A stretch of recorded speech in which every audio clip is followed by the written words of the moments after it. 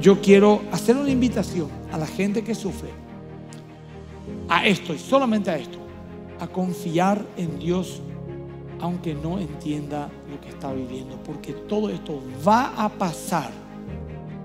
Y como Lázaro también, que ya había muerto, va a experimentar una victoria y una gloria mucho mayor a lo que hubiera sido su vida si no pasaba por lo que está pasando.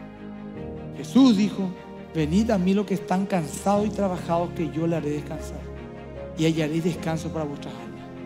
Hoy quiero pedirle a esa gente que está sufriendo, que está viendo por un móvil, que está afligido, que su pariente no sabe qué le pasa, que no tiene dinero, que no tiene nada, que entregue su vida a Cristo.